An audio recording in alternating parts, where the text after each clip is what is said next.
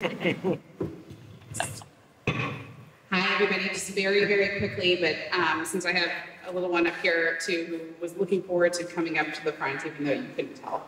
Um, just a few things really quick. I'm Tricia Shimamura. I'm from the Manhattan Borough President's Office. Mark Levine, who sends his very, very best to everybody here, particularly thinking about Barry and Judy, of course, at this time. Um, he's out doing still a million events that are that are not being stopped from the rain and um, wishes you all well. I want to say a very special thank you to the 19th precinct. You guys have been extremely responsive. I told you this uh, in the back if yet, you're not sitting in the front row, but uh, Detective Lombardi, everybody on your team has been wonderful, particularly in uh, these last few weeks. And We've just had a lot of requests coming in for extra detail, extra, extra attention um, on the streets. We really appreciate everything that you guys are doing. Um, I want to also say hello to Will and Monica and congratulate them again on 15 years of CB8 Speaks. I don't know if that's what you guys are doing here today, but it's amazing and we're so proud of this incredible program that is the only one of its kind. A few things, really quick. I'll, I'll already skip all the things you know about Barry and Judy and the Esplanade and Parks and East and Second Avenue Subway, all those good things. The council member talked about Shed the Shed, so I figured I'm just going to let you know about public restrooms.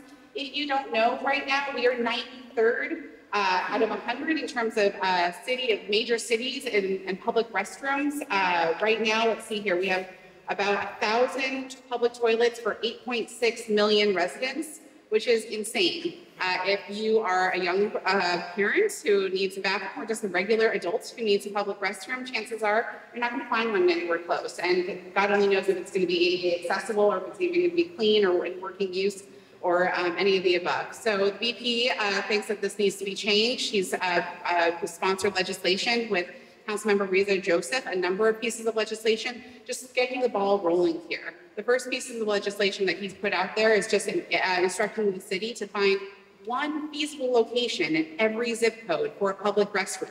That's it. Uh, you can't believe the fights that we've had already about this. So just one uh, location in every zip code. And we're hoping to see that really move forward uh, in, in coming months. He also put in another piece uh, of legislation saying that public that uh, public buildings like like City Hall and our building and other buildings out there should be having an ADA accessible uh, restroom, which makes all the sense in the world as well. Uh, more can be found on our website on this, but we would really appreciate your help in just kind of continuing the conversation about this. We need our council members, we need uh, our other legislative elected officials to really uh, take up this mantle and, and, help us push this push this forward.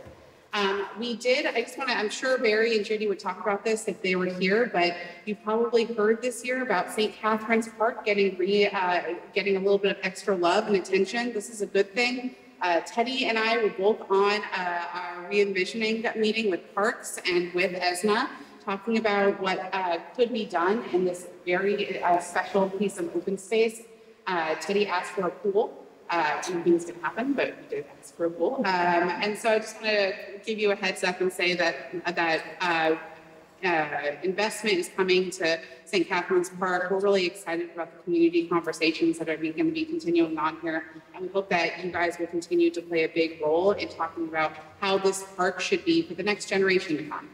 Uh, finally, I just want to say uh, we are doing uh, some, something new on the east side. Um, the BP has created a volunteer corps for all of those folks out there who are just interested in giving back to their community but may not know how to do so. Uh, and this volunteer corps is about 450 people strong right now, which is amazing.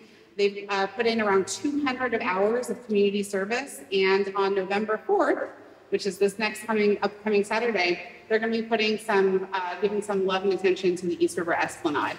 Uh, so I hope that if you're interested in being a member of our board, all you got to do is go to our website, sign up, uh, come join us at the Esplanade next Saturday, or one of the other four sites that we have around the borough.